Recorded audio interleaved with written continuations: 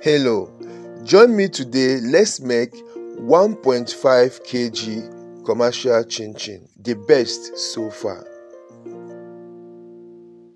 So in this bowl, I already have 1.5 kg of all-purpose flour. So I removed 1 over 4 cup of the flour and replaced it with 1 over 4 cup of corn flour. Next, I added 150 gram of granulated or caster sugar, 30 gram of salt, 2 tablespoons of cinnamon powder.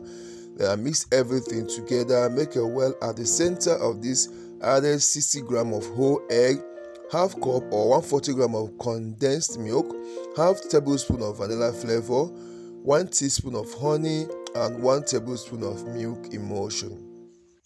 Then I have here 80 gram of butter or and 100 gram of margarine.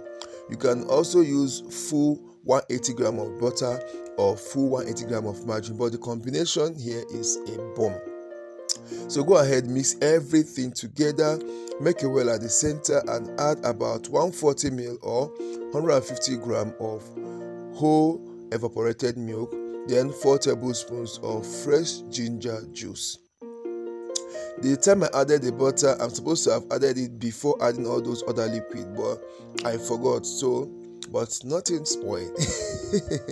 so now the next thing is to make a dough, and I'm using about 370 gram of milk. Okay, this milk I I mixed some water with uh, powdered milk to form that this particular one okay so combine everything thoroughly to form a soft dough okay?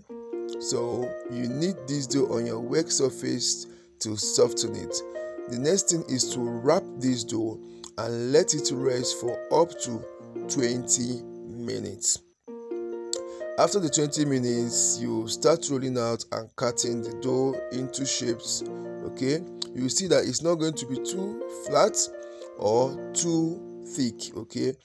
Then just as you see it in the video go ahead and cut your chin chin sprinkle little flour and mix the raw chin chin with the flour so to avoid sticking. You heat up the oil to medium heat. You also test the oil. If your chin chin springs up um, after a little while and doesn't brown immediately the oil is okay. Pour out the pour in the rest of the chin chin and fry for up to 10 to 12 minutes make sure you are stirring constantly okay? And your chin chin is ready. Spread out the chin chin to cook completely before packaging